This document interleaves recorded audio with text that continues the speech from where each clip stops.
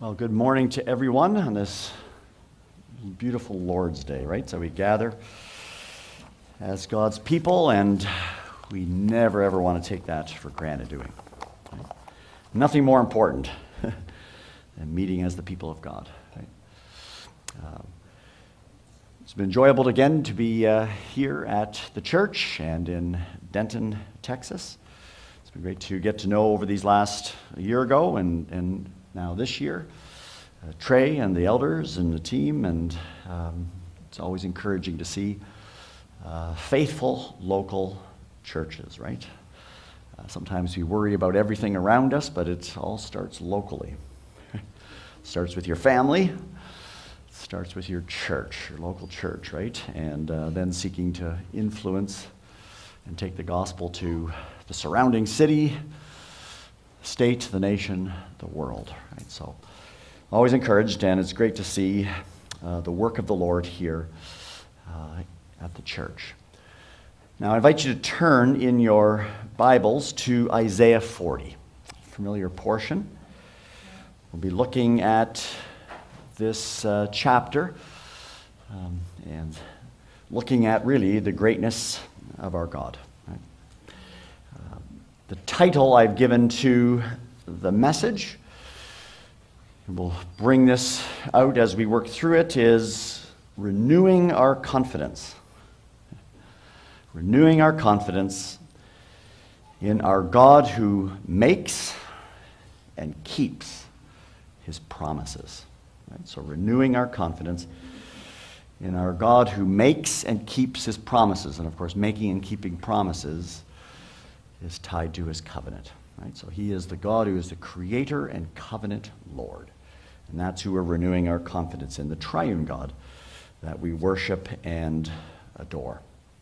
Now, I won't read the entire chapter at this point, but we'll look at the first eight verses and then we will work through it as we look at the entire chapter. But at this point, let us read verses 1 through 8 and hear uh, the word of the Lord.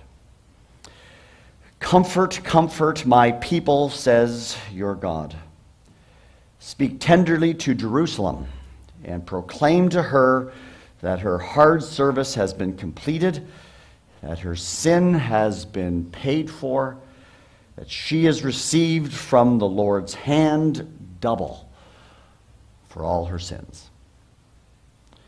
A voice of one calling in the desert, prepare the way for the Lord Make straight in the wilderness a highway for our God.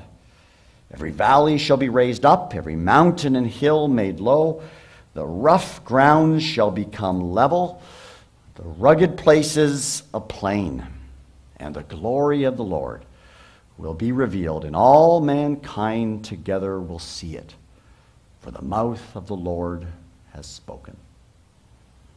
A voice says, Cry out. And I said, What shall I cry? All men are like grass. Their glory is like the flowers of the field. The grass withers, the flowers fall, because the breath of the Lord blows on them. Surely the people are grass. The grass withers, the flowers fall, but the word of our God stands forever. Well, let's pray and ask the Lord to make this chapter uh, that gives us the glory of God real to us and truly that it will this day and this week renew our confidence in Him. So let's pray. Heavenly Father, thank you for your word. Thank you that you have not left us in the dark Yes, the glory of creation testifies the heavens and the earth to your glory, yet, apart from your special revelation, apart from your word revelation, your promises, your actions in history, your actions to save and to judge and to redeem, to enter into relationship with us in terms of covenants, we would not have your promises. We would not know of you in the way that just looking at creation would give us a knowledge of you. We would not know something of your heart and something of your grace and something of what you have promised and done and brought about and supremely brought about in the Lord Jesus. We pray that as we uh, gather this morning and as we look at this familiar but glorious section of Scripture, that you truly will renew our confidence in you. We live in challenging days. We live in days that make us often depressed. And so we pray that we would lift our eyes to you, that we would behold our God, that we would see that this portion of Scripture that was written many, many, many years ago testifies to us today of your glory and testifies of the Lord Jesus. And help us to, in this time together, give you glory, renew our trust, leave here this week desirous to know you more, to love you, to obey you, to serve you, to make you known. We commit our time to you. Help us to this end, and we ask this in Jesus' name. Amen. Renewing our confidence. Why do we need to renew our confidence? Well, I don't think I have to tell you. Uh, we are in a mess. Our world's in a mess. it's always been that way, but it seems to be even more in a mess. Our nation's a mess, right? So even now, Afghanistan's been in the news, right? Even now, drones are hitting uh, Kabul airport, and but all of it's a mess, right? All of it, in terms of our government leadership, has failed. Uh, you could go back to the Old Testament and look at leaders. We'll even see Hezekiah just briefly as we look at Isaiah 40, witless, feckless, useless leaders, right? And they just now bring tyranny upon tyranny. I mean, this is the kind of world we live in, right? Until the end of the age, until Jesus comes, right? We will face increasingly challenging days. The gospel will go forth, but the world that we live in is tumultuous, right? We see it just almost in our country where internally it's self destructing, right? And this is what's happened in civilizations over the years, right? Augustine, as he lived end of the 300s, early mid 400s, as the western portion of the Roman Empire collapsing, it was collapsing right before his very eyes. He had to remind the church, right, that there is two cities, there's two kingdoms. There's the city of God that lasts forever. That's what we are a part of, the church, the kingdom of God, and there's the city of man that will come to destruction.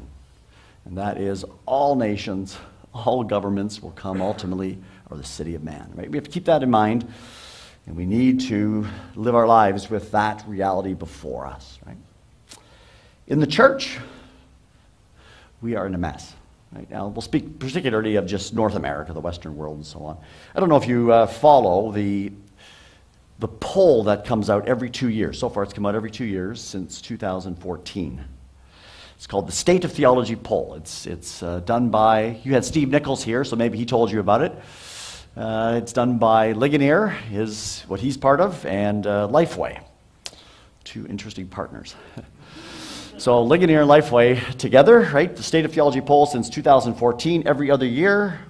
So last year they took their 2020 uh, before COVID hit, right? So they, and then I'm assuming next year, 2022, they will do it again. It's really helpful just to see what American society thinks, because about 3,000 people, but you can, you can go in and you can click certain portions where you, it breaks it down into male, female, and age, and belief system, church affiliation, right? So you can click in there evangelicals, belief, and then you can click evangelical affiliation. So you put both of those on.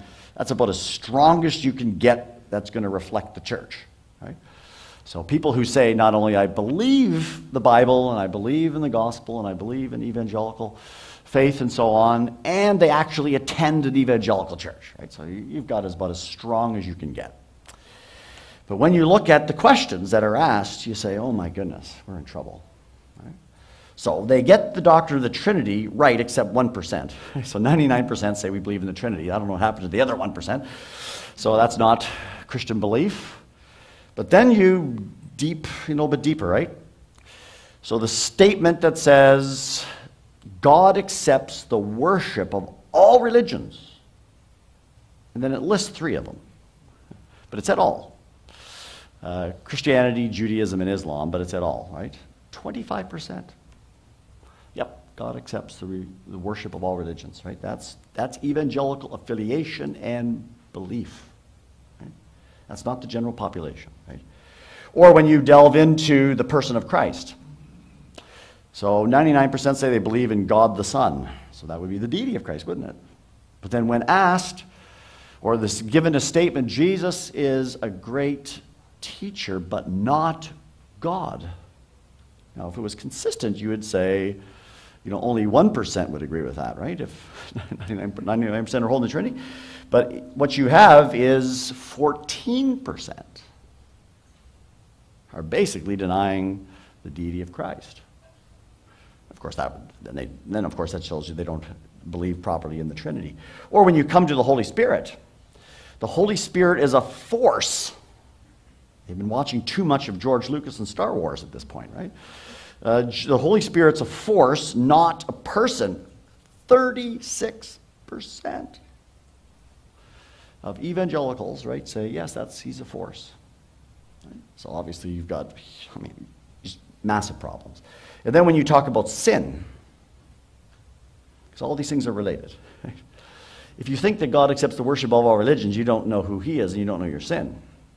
Right? That's, so when they say humans sin a little, but they're basically good by nature.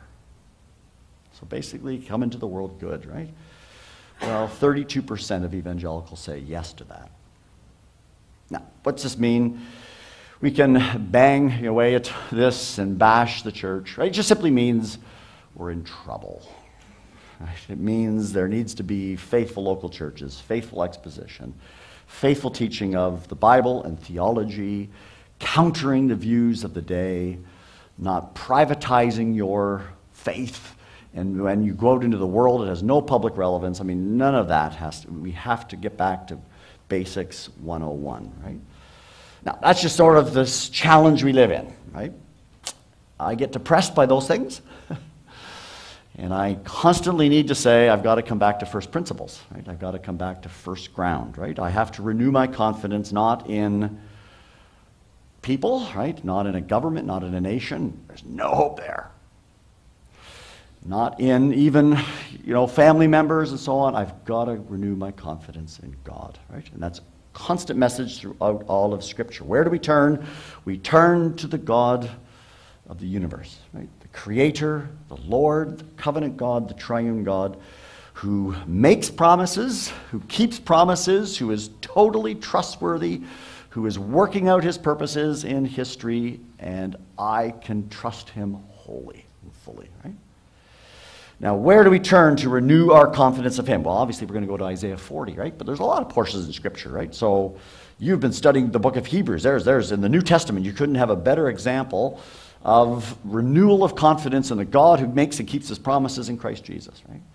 That just puts your whole Bible together. It reminds you of all of God's plan. But, you know, Isaiah in the Old Testament is a counterpoint to that. Right? Isaiah has been known as the fifth gospel. And you say, I thought there were only four gospels. Right? But it's the fifth gospel in the sense that, right, in prophetic revelation, it anticipates not only God in all of his glory and greatness, but the God who has made promises, and he's now keeping those promises and has kept now in hindsight. We know this. He's kept his promises in Christ Jesus. Now, Isaiah 40 is just one chapter in Isaiah that 40 through 48 and other sections, chapter 6 and so on. The whole book of Isaiah, if you want to say, how do you teach the sovereignty of God and the power of God and the glory of God? Well, you just go to Isaiah. I mean, and how much the New Testament quotes Isaiah. And Isaiah 40 is one of those chapters, but it's not the only one. It's just part of a section. And Isaiah 40 has been made famous, right? So at Christmas time, if you enjoy Handel's Messiah, right? Comfort, comfort, what we just read is the pastoral scene that comes in Handel's Messiah that opens up the anticipation of the coming of Christ, right? And we know of that. Or if you remember, now this will date me, and some people may have never seen this movie before. And if you haven't, you should, right? It's Chariots of Fire. How many have seen Chariots of Fire, right? Yeah. Chariots of Fire, Eric Liddell, famous missionary to China in the 1920s, right? And he was a Sabbatarian and he wouldn't run on Sunday, and one of his races was put on Sunday. And they switched him to from the 100 meters to the 400 meters in the Paris Olympics, but they have him on Sunday in the Presbyterian church. He was Presbyterian, he was Scottish. And he's in the Presbyterian church, and the movie makers, right? It's interesting, the movie makers of Chariots of Fire, one of them was Princess Diana's boyfriend that they were killed in the car accident, Dodi Fayed, interesting enough, a Muslim. And they presented the Christian, though, in the most positive of terms, right? And they presented Eric Liddell standing up in the pulpit, reading from Isaiah 40.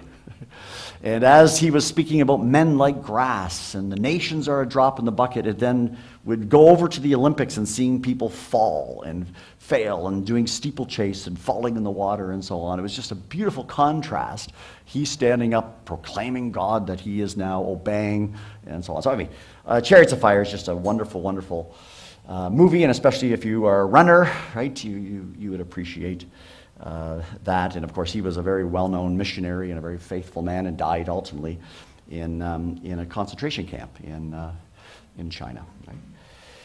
Now, Isaiah 40, wonderful portion. How are we going to break it down today? Well, we'll look at the chapter, but before, we're going to look at it in three steps.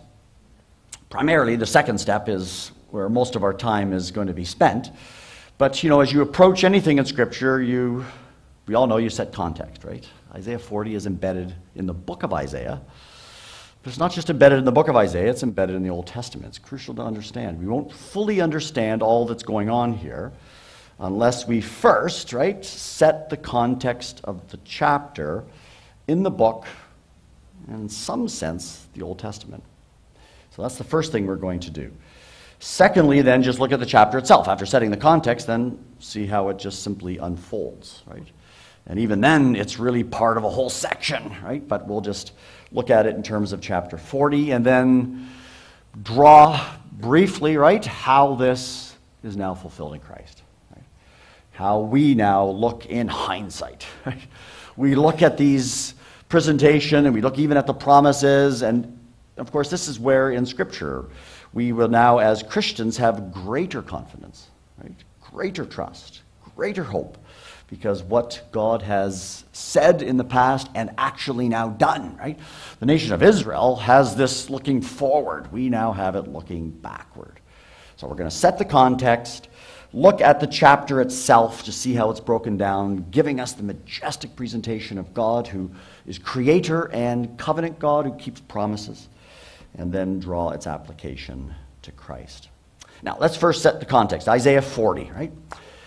Most of you know, I'm sure, right? Isaiah, right, is one of the major prophets, major minor prophets in terms of their size, not in terms of their importance, right? Isaiah, as a major prophet, all of the prophets, it's very important to see this, all the prophets write after the Davidic covenant, right? Now, some of them write at the time of the collapse, which is Isaiah, of the northern tribes, and some write before the southern tribes get taken to exile and in the exile and after exile. But all of them write in terms of the covenants, the promises of God. They all write after David. They're all post Davidic. Isaiah is about 700 years before the coming of Christ. Right? Liberal scholars have loved to hack this book up. It shouldn't be hacked up, it's one book.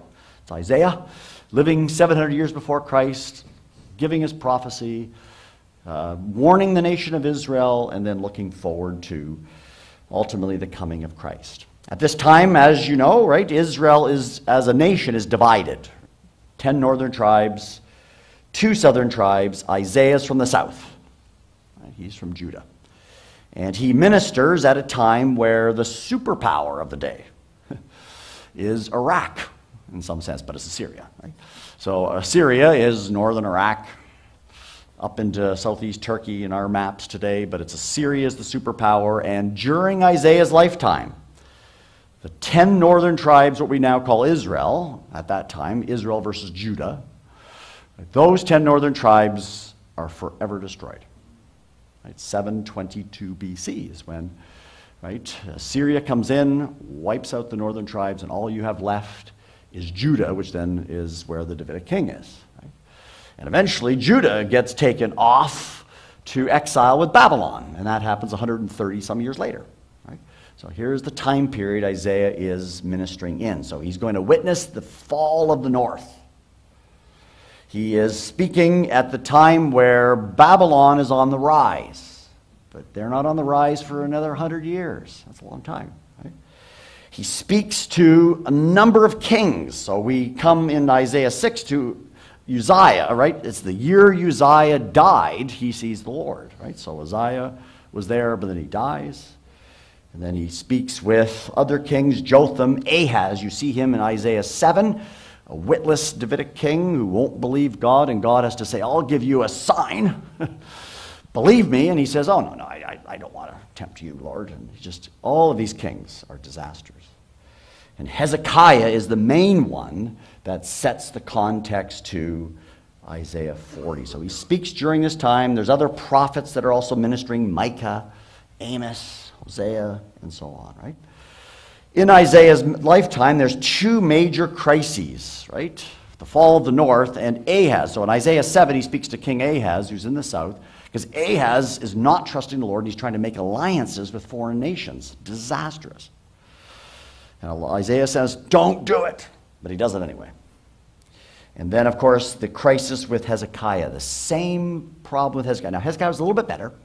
Eventually, Hezekiah trusted the Lord. And in Isaiah 36 and 37, you remember the angel of the Lord comes through the camp, and Sennacherib is, is and his, his, army is, many of his army are killed, and, and Assyria pulls back from the south, right, temporarily, right? So Isaiah is ministering. He's speaking to these kings, particularly the Davidic kings, and saying, Trust the Lord in chapters 1 through 5 of Isaiah, right, you have just a disastrous presentation of both the north and the south. And the disaster is, is that this nation has turned against the covenant. They've rebelled against God. You read those chapters, right? They have little children ruling them. There's nothing wrong with children, but they're not wise, right? Sounds familiar, right? unwise people making decisions that are disastrous. The religious leaders have failed. All of the shepherds of Israel, prophets, priests, and kings have failed. And that's why in Isaiah 6, right? I don't know if you ask yourself, why is it that Isaiah 6 starts in Isaiah 6? I mean, it's Isaiah's call to ministry. Why not chapter 1? Wouldn't you think that the call to ministry would be in chapter 1? Well, it's not because Isaiah 1 through 5 is, in some sense, introduction. It's setting you up for chapter 6, isn't it? What do you see in Isaiah 6? In light of the disaster of the nation, all the leaders have failed. What, and then I, Uzziah dies, right? So, what happens when now the head of the nation dies? Everything is in disarray. What does Isaiah have to, who does he have to renew his confidence in? The Lord, right? So, he goes into the temple Everything's in shambles, and he sees the Lord high and lifted up? Remember Isaiah 63, he's the Holy One, right? And then he gets his commission and, and so on, right? All of that's telling you, right? The hope for the nation is found in the Lord. Right? Now, in addition to that, and this becomes important as we move to Isaiah 40, as you look at the prophets, and this is where you have to sort of set Isaiah in terms of the Old Testament. And particularly what I already sort of alluded to, all of the prophets write after David, after the Davidic covenant, right? The prophetic message says this. So there's two points of the prophetic message. One is, you as the nation have violated the covenant, you're cursed. That's, that's the negative point, portion.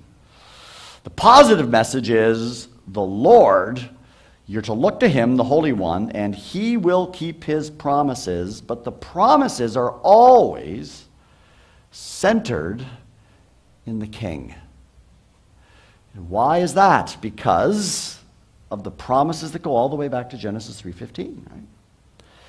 From the fall of Adam, right? God has by grace chosen to save us. Restore this world, save a people for himself. And what does God say in Genesis 3:15? I will save you. I will put enmity, right? He's going to take the initiative.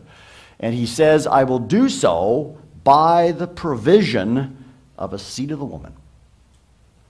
Now that just starts running through the entire Bible, doesn't it? Eventually, as you work through the covenants, we know who the seed of the woman is it's the king. And not just any king, it's the Davidic king. Right? David becomes an entire pattern of the Messiah to come. He is going to be the one who's a forerunner of the seed of the woman, right? And then you can look at other passages where the king will be a priest and the king will rule. The king will bring God's rule. So, always in the prophets, there's two ideas that come together. For God to save us, God must act. God will keep his promises, but keeping his promises means he will do so through the provision of a king. Now, it's that you have to understand to understand Isaiah 40. Because in Isaiah 40, now delving down into here, there's a further context of Isaiah 40, which is chapter 38 and 39, right? So when you read a book, you've got to figure out how it's put together. The author is putting it together in terms of its literary, right? We have chapters and verses. That was never there in the original, right? It's all one book, but it's broken into sections. And you, in a good Bible reader, right, a good reader, uh, you're to be able to figure out those sections. Well, 38 and 39 front loads chapter 40. Now, why is that? Because if you read Isaiah, right, this is all about Hezekiah the king. And Hezekiah, verses 36 and 37, is, an, is a story about Hezekiah. That's where God protects Hezekiah, the southern tribes, and removes Sennacherib. And then in 38 and 39, it's another story where Hezekiah gets sick unto death.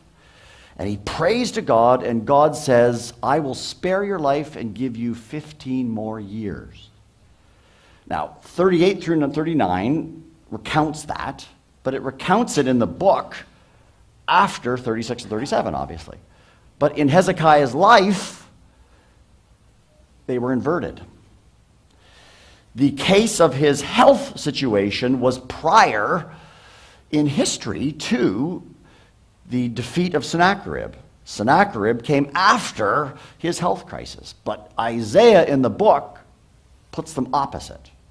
Now, why is that? Well, he's signaling to you you must read Hezekiah 30 or Isaiah 38 and 39 with 40 in what follows. And what follows is all the way through chapter 55. Right?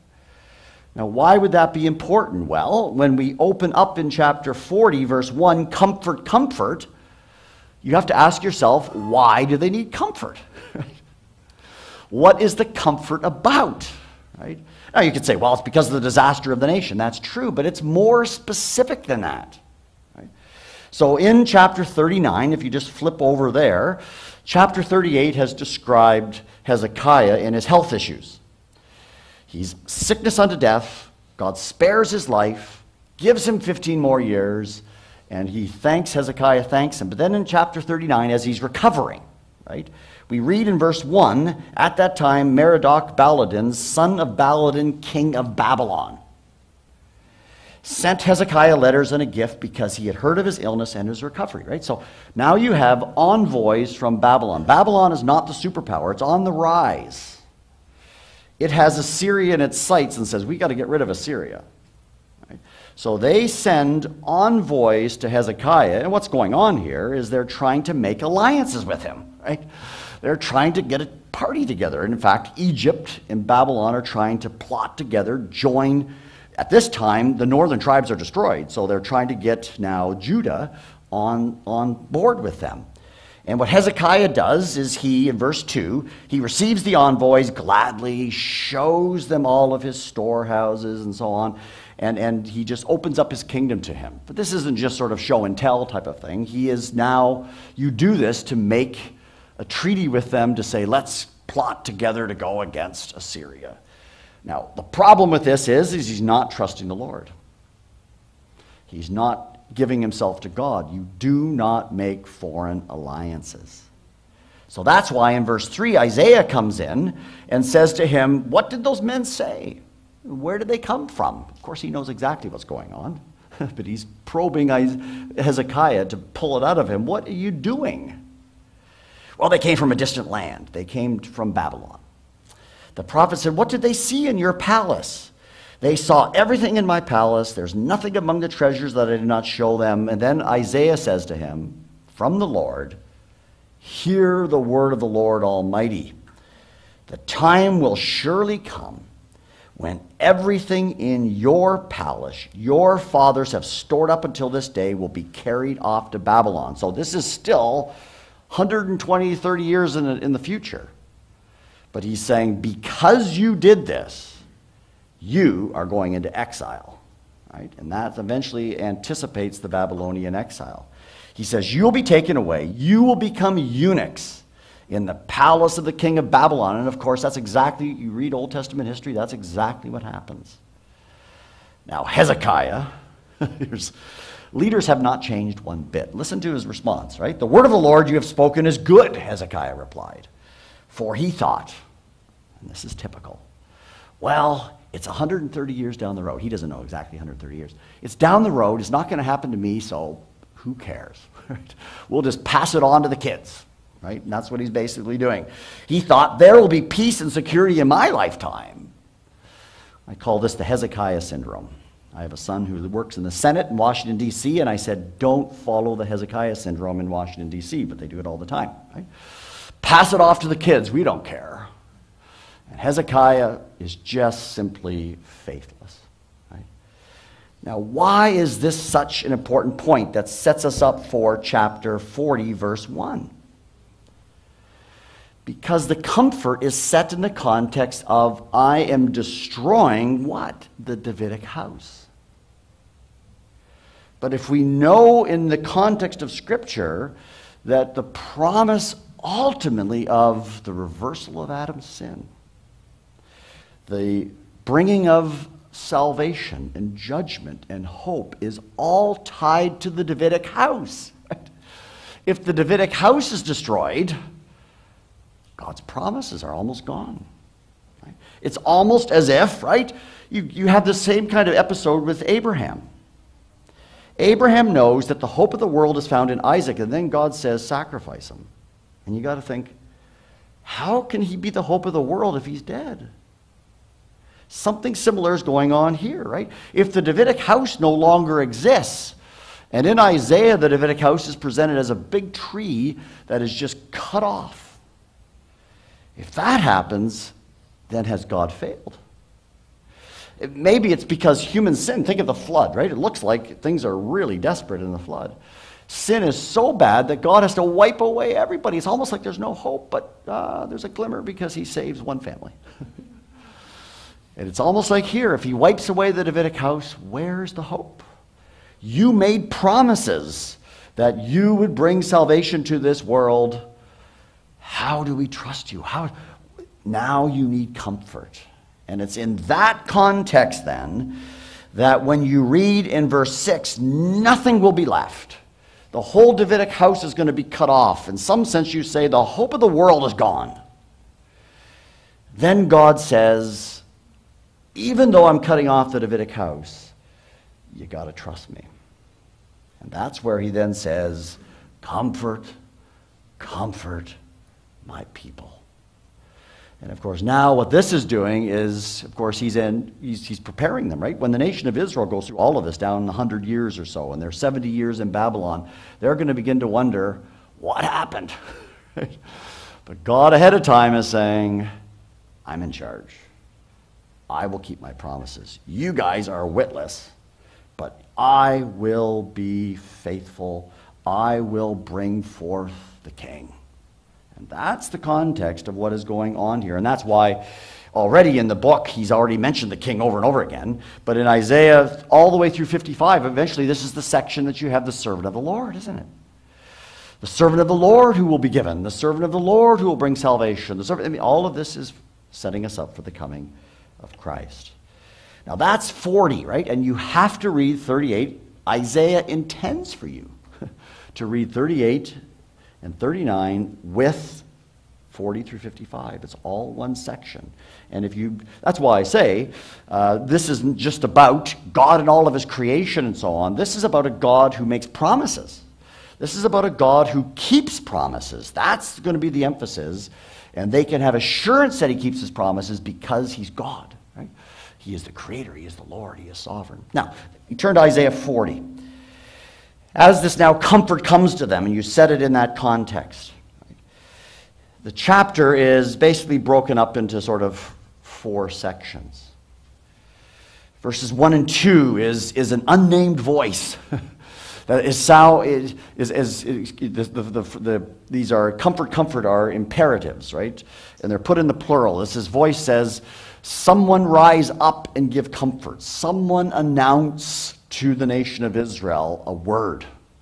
And of course, from that, in verses 3 through 11, we have three voices that arise. So the command is to comfort the people, and the first voice now begins to give comfort. The second voice follows on the first and gives further comfort. The third voice brings more comfort, right? In all of these areas, you have different aspects of God emphasized. And then you have in verses 12, really to the end of the chapter, what grounds the comfort is the glory of the Creator, the Lord, the sovereign Lord of the universe, the one who is incomparably different than anything created. He is the God who is independent, self sufficient, sovereign Lord. I mean, all of that now grounds the reason why you can trust Him, the reason why His word will not fail. And then, of course, 41 will then continue in the same emphasis. So, verses 1 and 2, let's first look at this, this call to comfort. Uh, the verbs, as I said, are imperatives comfort, comfort, a command. Commanding an unnamed number, right? And that becomes the voices to ultimately call to the people to give comfort to my people. And even that is a glorious phrase. Israel is a disaster, but he's still true to the covenant, calls them his people. Right? And he says to them, Speak tenderly to them. That tenderly is, is almost a wooing language. Right? You, you go after someone and you care for them. A young man with a woman woos the woman and so on, right? I mean, that's the idea here. Speak tenderly Jerusalem. God is coming, and he says that I'm going to bring judgment, but I'm bringing uh, a word to you to give comfort to you tenderly uh, and, and to proclaim to you.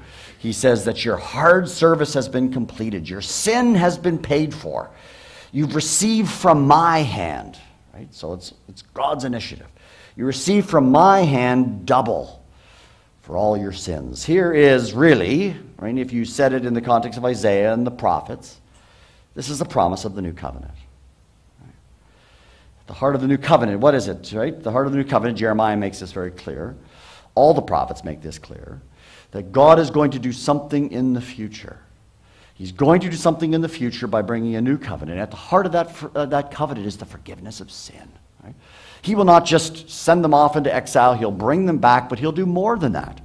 He will provide, and eventually Isaiah lays this out for you. He'll provide a servant. He'll provide a servant that will deal with the problem of sin. If we had time to look at this whole section through 55, the problem of sin arises all throughout. Israel goes into exile because of her hard heartedness. And even when she comes out of exile, she's still hard hearted. God must now bring a new covenant, the servant of the Lord who will circumcise hearts. I mean, all of that's part of this context, right? The prophets all look forward to a new covenant. And so he's, this voice then says, Speak to Jerusalem. I will keep my promises. I will bring full payment for your sin, right? You've received from the Lord's hand double for our sins. There is a payment that is there. Now, we doesn't say how it's going to happen, but later on in the book we see that it comes through the servant. Right? Now, as this imperatives come, give comfort. Tell them that I'm going to do this. Then you have these voices arise in the kind of sort of second stage of the chapter, verses 3 through 11. Three voices then come that pick up the command give comfort. All right, now the first voice gives comfort. And it follows with the second and the third. So, what's the first voice say? And all of them pick up different aspects of God's promises and who He is and so on. Well, the first one says, Here's the comfort a voice is calling. In the desert, prepare the way for the Lord. Now, of course, we now in the New Testament know that as picked up in John the Baptist, isn't it? You fast forward eventually, this John announces the Lord is coming, right? It's still previous to them, but here you have this voice saying, In the desert, prepare a way for the Lord. Make straight in the wilderness a highway for our God. Now, many people see this as sort of Exodus imagery. And it And there's a lot of Exodus imagery. It could be that, or it could simply, simply be the idea that make straight the wilderness for our God. Every valley will be raised up, every mountain will be made low, the rough shall be made level, a rugged place is plain. It just simply means God is now in the future. The voice is saying, God will come and save. God will come and make a highway. In the desert, often, often in the Old Testament, the wilderness is the place of where God is to come to his people and he has to comfort them and he has to bring them into the land and so on. And so here you have this anticipation that in the future, right, the Lord will keep his word. He will come, and as he comes, you have then in verse 5, his glory will then be revealed so that all mankind will see it. There's coming in the future, the coming of the Lord, who will display his glory, and God will bring his promises to pass. And of course, the promises then are picked up by the second voice, right? So God is coming. God will save, and then he will keep his word. So in verse 6 through 8, a voice says, Cry out, what shall I cry? Well, here's the contrast with humans, Israel, and eventually nations. All men are like grass, their glory right? Their glory, right? Glory in Scripture, right? The glory of God often is compared to the chaff and the glory of men, right? God's glory, even the notion of glory, is this notion of God is of substance and weight. Right? And human glory is fickle and weightless. So you have here, all men are like grass, grass that just comes and goes and blows in the wind. Their glory is like the flowers of the field the glass withers, the grass withers, the flowers fall, but the breath blows. I mean, their glory just, just blows over. They're like chaff. But the grass withers, the flowers fall, but notice the word of God stands forever, right? So the voice, second voice, picking up from the first one. God will come and redeem his people. He will make a highway. He will not forget his promises, even though the Davidic house is destroyed. And he will keep his word. Right? And that just runs through this, and that would be giving the nation of Israel comfort, especially down the road. When they're in the midst of Babylon, they'd say, Is God going to keep his word? He told us he would. he told us he would. And then verse 9 through 11 is similar, but it's another voice that's picking up a different aspect. You who bring good tidings to Zion, go up on a high mountain. You who bring good tidings to Jerusalem, lift up your voice with a shout. So here's the third voice. Lift it up and do not be afraid. Say to the towns of Judah, Hear, behold your God. Right? See, the sovereign Lord comes with power. So the first voice has already said that, hasn't it? God is going to make a highway. God is going to come. He is going to now rescue his people. So the sovereign Lord comes with power. His arm rules for him. His reward is with him and his recompense accompanies him. He, he will reward his people. He will bring double for their sins. He will bring ultimately the new covenant in this context. And notice what he says here, and this picks up a lot of Old Testament teaching. He will be the shepherd. right, this imagery of God as the shepherd. Israel's leaders are shepherds, but they've all failed. But he will tend his flock like a shepherd. He gathers the lambs in his arms. He carries them close to his heart. He gently leads those who have young. So, this isn't just a presentation of the Creator God who just sort of is removed from the world, that doesn't care for his people. No, he's not only made promises that he's going to keep, but he is going to come and care for them. He is going to come and take his flock, right? And he will rule over them, and he will do what the shepherds of Israel didn't ever do. Now, of course, this alludes to a number of places. Psalm 23, right? The Lord is my shepherd. But in the prophets, you can't help think of this in conjunction or connection with Ezekiel 34. Ezekiel 34 is just a glorious chapter of the shepherd, which is really the backdrop to Jesus' statement in John 10 I am the good shepherd. In Ezekiel 34, you can go back and look at it this afternoon, right? God indicts all the leaders of Israel, just like Isaiah does. And then what does God say in Ezekiel 34? He says, I'm going to come and save you. My sheep are scattered all over the mountainside, and I'm going to come and rescue them. That's what Jesus sees in the Gospels, right? And then in Ezekiel 34, God will be the shepherd through the king. Who brings a new covenant. It's all the same themes, and that's what's being emphasized here. The promises of God, the covenant promises of God, God saving the message of the prophets, God will save through the king. God will provide a better David. And that is what ultimately is giving them hope. Now, in verses 12, as we move from the voices, right, the voices are saying, God is coming, His word is true, He will shepherd His people, you can trust Him, only Him. Right?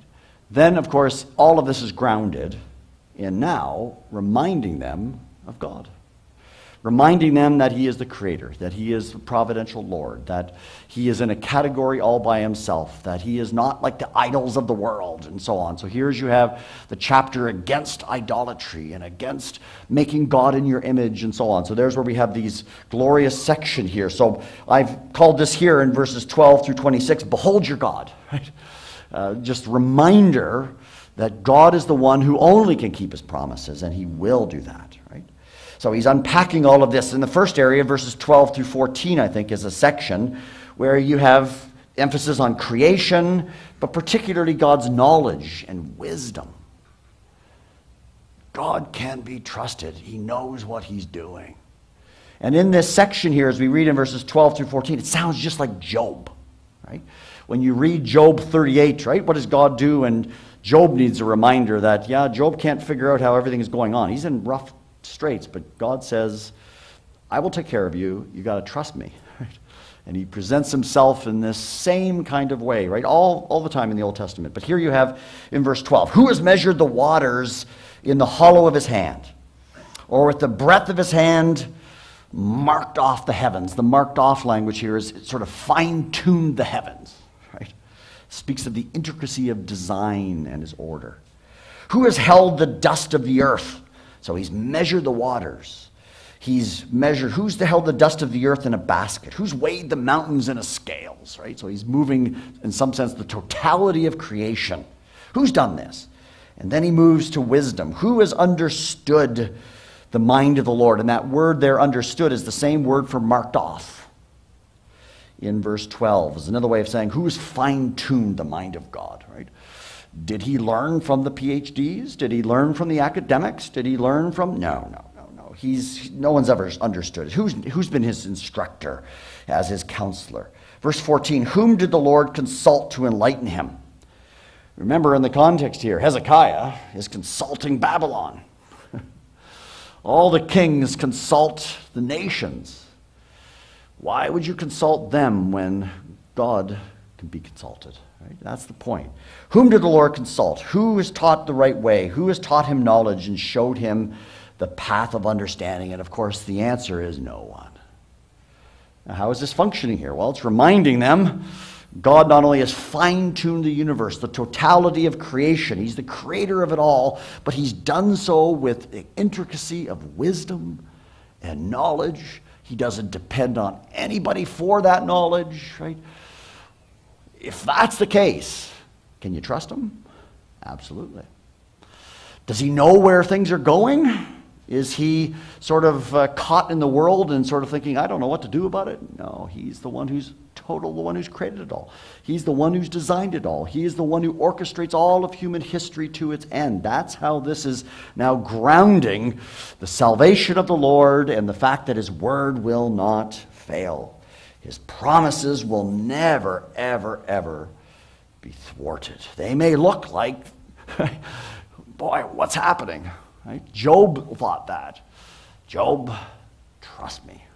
Right? And that runs all the way through the God of creation and providence. Then you have in verse 15 through 17 sort of another aspect of, of God. And of course, this is picking up that God is, is independent, He is self sufficient. We, we speak of this in terms of uh, divine aseity. He, he has life from himself. He doesn't need anything from you. Earlier in the Psalms, right, uh, God says, If I were hungry, I wouldn't ask you. Right? Uh, when we're hungry, we ask people for help. God doesn't ask us for help. You can't, right, be given who God is, you can't bribe him. You can't sort of say, Do you need this God and make a deal with him? And of course, that's what's emphasized here in verses 15 through 17. Behold, look at this, it says in the Hebrew, right? Behold, look at this. The nations are like a drop in the bucket. They are regarded as dust on the scales. He weighs the islands as though they were fine dust. Lebanon is not sufficient for altar fires. This brings up his, he's self sufficient. You could burn all the trees of Lebanon, and it would never be sufficient. And then he ties it to animals. Nor it's animals enough for burnt offerings. Of course, this is a tying to the sacrificial system.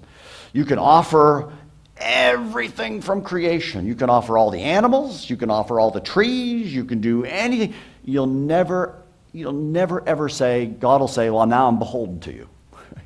Uh, oh, now, thank you for that gift. No, he says, even the trees of Lebanon, the animals aren't enough. Before him, all the nations are nothing. They're regarded as worthless. They are nothing. This God is, and this is what Paul says in Acts 17, right? He doesn't live in temples, he's not served by human hands. He's the one who decides what will be. He's the one who, if he makes promises, keeps them. He's the one who, if you think he needs you to help him in his ministry and work, you're fooling yourself. Nation of Israel, right? You have broken everything, but I will keep my word. And that is how this is functioning here. The God you couldn't give enough to, the God you couldn't bribe, the God you couldn't do anything. He is the self sufficient one that is the one you can trust. And then in verse 18 through 20, as this whole section is almost, you know, it's put in poetry and everything else, in terms of the symmetry of the poetry, really verse 18 to 20 is a kind of center of all of the section, right? And it's, you'll see the same question, the rhetorical question asked in verse 25. Out of this, right, so far he's discussed you know, the, the, the creation in totality, God who's fine tuned it, uh, the one who has knowledge from himself, uh, the one who you couldn't uh, give enough to in order to uh, get him on your side, type of thing. He's the one who's self sufficient. Then, of course, this section 18 to 20 just simply says, Who are you going to compare me to? so, already previous to this, verses 12 through 17, you have the sense of, I can't compare you to anything. And then, following from verses 21 and following, he'll further develop this in terms of you can't compare him to anything, right? So, in this middle, to whom will you compare God? What image will you compare him to? And this is a whole argument against idolatry. Idols. You take something created, chop down a tree, prop it on a pole, and say, there's God, right? No, God is the creator of it all. You can't make an idol of him. To whom will you compare me? What image will you compare him to? As for an idol, a craftsman casts it, a goldsmith overlays it with gold and fashions silver chains for it. A man too poor to present it as an offering selects wood that it will rot. He looks for a skilled craftsman to set up an idol that you will not topple. That's not me. I am not compared to anything created. So here's where we have from Genesis 1 on, at the heart of the whole Bible is the creator creature distinction. God alone is God. You don't put him in the category of anything created. Right? He is unto himself. And of course, as we work through all of Scripture, he's the triune God unto himself, complete within himself, needing nothing. And if he chooses to save, that's nothing but sheer grace. You deserve nothing. And that's how it's presented. Now, he moves in verse 21 to begin to think of his no rival. So he's been speaking about creation, and now he starts moving to sort of humanity and the nations and so on. And here we can say the sovereign creator, he, he has no rivals. He's the king of kings, he's the lord of lords, he's the one who rules the nations. So, verse 21 Do you not know? Have you not heard? Has it not been told you from the beginning? Have you not understand since the earth was founded? He God, sits enthroned above the circle of the earth, right? So he is over the earth. All the people are like grasshoppers. He stretches out the heavens like a canopy. He spreads them out like a tent to live in. He brings princes to naught. Reduces the rulers of this world to nothing. Assyria at this time thought it very important. Even in Isaiah's lifetime, Sennacherib was put on the run. God reduces the princes and rulers to nothing. No sooner are these rulers planted, they build their empire. No sooner are they sown, no sooner do they take root in the ground than God just simply goes and blows. And He blows them and they wither, and the whirlwind sweeps them away.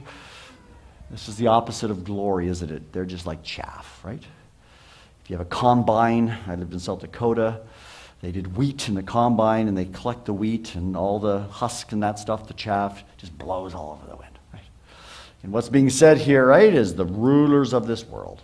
God sits enthroned. Right? God sits enthroned so that they come, they're planted, they've got their mighty empire, and all God says is it's time for you to go. And they're gone, right? Haven't we seen this through all of history? Mighty Egypt put Israel in chains, right? God just brought them out with plagues, Exodus. Pharaoh was reduced to nothing. And then you work through Assyria, eventually rises, collapses. Babylon rises, collapses. You remember old Nebuchadnezzar? Nebuchadnezzar, Daniel 4, was reduced to nothing but a beast. He eventually came back to his sanity. And then Babylon comes after, and then Persia. Cyrus Persia brings Israel back, and then the Greeks, Alexander the Great. Oh, Alexander the Great. Where's Alexander the Great? The Roman Empire collapsed. You just go on and on. This nation will collapse. This is, this is how history works over and over again. But God sovereignly sits enthroned and he says, My plan is going just according to its purpose. Right? And that's what he said. Now, nation of Israel, when you live in the midst of it, nation of Israel for years and years and years, a long time, has to say, Oh my goodness, where are you? And they have to trust. Right? This is the message of Habakkuk. This is the message of the prophets. This is the message of the Psalms, and so on. And this is what Isaiah is now saying to his people, right? And so here you have then in verse 25, picking up, he rules every detail. Here's almost moving to providence. To whom will you compare me? Who is my equal, says the Holy One, right? The Holy One goes right back to Isaiah 6. Isaiah saw the Holy One high and lifted up, and then it's a reminder here of Isaiah 6. Who are you going to compare me? I'm the Holy One. Nobody else is like me. Lift your eyes and look to the heavens. Who created all of these? Here's almost like a, he's a director of all the heavens who brings out the starry hosts one by one. It's like he's orchestrating everything, right? Uh, he calls them by name because of his great power and mighty strength. Not one of them is missing, right? Look at the heavens, they're, they're completely orchestrated and managed. It's also going against the astrology of the day, which we have in our day, right? People look to the heavens and they try to guide their life. They say, no, you look to God who orchestrates all the heavens. And then as he winds this down, and of course moves into other chapters, he asks now, in a kind of conclusion, rhetorical questions. Rhetorical questions that you are then to reflect upon and then say, He is trustworthy. I need to renew my confidence in him. I need to get rid of my faithlessness. I need to say, I, have I've walked away from him. I haven't trusted him as I ought. And, and these questions now come in verses 25, 27, and 28. I mean, they've been through the chapter, but it, this brings it to its climax. To whom will you compare me? And of course, the answer you're to say is there's no one. I haven't thought rightly about you. I have to remove from my thinking my distortion of you, my making you like me or a creature. I need to glorify you. I need to think rightly of you. I need to think thoughts of you that are correct. You cannot compare me to anyone. And then he says in verse 27 Why do you say, O Jacob, and complain, O Israel, my way is hidden from the Lord, my cause is discarded by my God? Now, that question is forcing the people of Israel to be, say, we think we've been abandoned. We think God has for, forgotten us. No, no, no, that's wrong. He has not forgotten us. We forgot him. and he is the one who still will bring about his promises for us. We can trust him. I need to say, my plight is not forgotten. I am not, you know, just uh, ignored by him. He knows my very existence and being, right? Think of Job. Job got into serious problems where he began to say, Has God forgotten me? And God says, I haven't forgotten you. We face that too, or sometimes, don't we? You say, I don't understand these circumstances. Where is the Lord in that? And he says to the nation of Israel, he says to us, Why do you say, O Jacob, my way is hidden from the Lord? It's not hidden. It may seem like hidden, but I'm bringing about everything on my timetable. Right? And then it says in verse 28, which moves to these famous verses of renewing our strength. Right? Why, he says, or, or verse 28, do you not know? Have you not heard? The Lord is the everlasting God. Right? You're not everlasting, but He is. The creator of the ends of the earth. He won't grow tired or weary. Right? Obviously, it's a contrast with us. He doesn't grow tired or weary. His understanding, no one can fathom. He gives strength to the weary, increases the power of the weak. Even youths grow tired and weary. Now, many youths don't think they do, but you do. Right? Now, the young men stumble and fall, but those who hope in the Lord. Now, this hope has context here. This is just, oh, I, I, hope, you know, hope, hope, hope God, you'll do something. It's hope tied to the covenant promises of God. It's hope that God will bring a new covenant, that God has not abandoned us. He's not abandoned his people. His purposes will be realized. And of course, the whole book will tell you what that hope is. And ultimately, it comes to Christ. Those who renew their hope in the Lord, those who believe God and take him at his word, will renew their strength. They will soar on wings like eagles. They will run and not grow weary. They will walk and not be faint. Now, this has nothing to do. I was in, I trained my, my boys and my, some of my children in cross country running. And there was a high school in Kentucky that had this verse on their back. so they had on their back, right? They, you know, they'll, uh, those, it says they will run and not grow weary, walk and not faint, as if that's going to give them their cross country victory or something like that. Well, I'm sorry, that's not what it means. Has nothing to do with whether you have, uh, can do a triathlon or you can do, uh, you know, running or something and you'll renew your strength or something like that. That's a whole distortion of that, isn't it?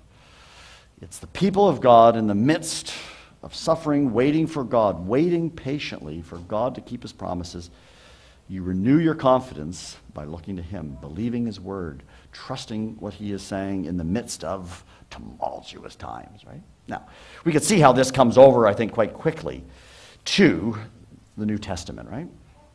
Fifth gospel. uh, it's no wonder, right, what he is saying here ultimately as you keep reading the rest of Isaiah and even prior, Isaiah 1 through uh, um, 30, uh, 37 or so. You already have the anticipation of the coming of Christ. Right? This is 700 years out. That's a long time. Right? Waiting, waiting, waiting, waiting. But then we read, right, as the gospel is open, right? You read about John the Baptist, that voice. He's crying in the wilderness, Make way for the Lord. And Jesus now comes, and he's the Lord. Jesus now comes and rules the nations. Jesus now comes and goes to a cross, but by going to a cross, it's not defeat, it's not a martyr, he's not a victim. He is accomplishing sovereign God's purposes of bringing a new covenant, of paying double for those sins, of bringing in a new heavens and new earth, that all God's promises are now found, yes and amen in Christ, right?